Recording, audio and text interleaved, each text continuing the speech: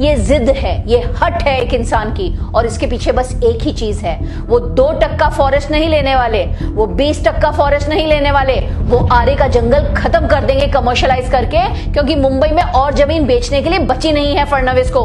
पिछले पाँच सालों में जब उनका सरकार थी, उन्होंने सारी जमीनें बेच दी। अब ये जो बचा है, हमारा जंगल, उसे भी बेच देंगे।